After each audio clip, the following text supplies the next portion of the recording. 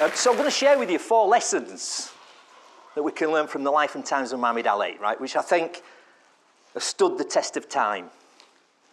And if you just to kind of learn from these four lessons, could help you on the road to greatness. So let's dive in and think about round one, right? And it's this. How many people in the room as an organisation have some values? Interesting, right? So you've heard that word before, okay. How many people have some values outside of work that they've written down? Very good. That they use every day to guide them. Ah, okay. Right. So I know you kind of know about values, so sometimes you're going to hear stuff. Have you ever heard something you've heard before? Have you heard, ever heard something you've heard before? Yeah. yeah. but just the fact you've heard it doesn't mean that you're using it, does it? So again, my challenge to you is, is to be practical, to take these ideas and go do some little tests, you know. So values. So let me define it for you if we can. And I think the way to look at this, it's two-sided mirror this today. It's like think about the organisation that you work for, if you work for one, and how you might be use some of these ideas at work, but also outside of work. We need to be thinking of those two sides every time we think about these kind of four foundations for being the greatest, if you like, okay? So let me define for you, because people have different definitions, my working sort of definition for values, how we choose to behave. It's just dead simple, right? How we choose to behave. So why is Ali a great example of this? Well, again, you know, if you don't know the Ali story, so he fought Sonny Liston, became heavyweight champion of the world and overnight changed his name from Cassius Clay. This is him as a young Cassius Clay, sort of living up to the billing, right? Round about the time he fought Liston, that, I'm guessing. So, young Cassius Clay fought uh, Liston, became heavyweight championship champion of the world at 22 years old, youngest champion ever at the time and changed his name overnight from Cassius Clay to Muhammad Ali.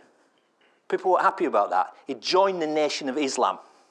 They were happy about that either, because they were seen as a radical organisation. Not quite as radical as maybe the Black Panthers, but a lot of people thought not that far removed. People, particularly white people, weren't too comfortable with that. And this guy had a bit of a mouth on him as well, didn't he? So he suddenly kind of became almost an official stroke, unofficial spokesperson for the Nation of Islam. And he said, the reason he said he changed his name was this. The, the reason he was called Clay was that was a slave name. And in fact, a white guy called Clay had owned his grandfather. And he said, I don't have to be who you want me to be, and I choose to change my name to Muhammad Ali. So that was a value statement, right? But a lot of people were happy about that. Have you ever introduced values at work and people are happy about it?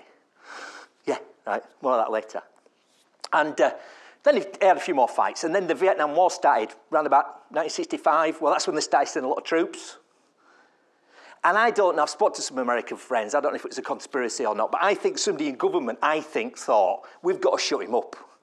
We've got to shut this guy up. He's making too much noise, you know? So let's draft him.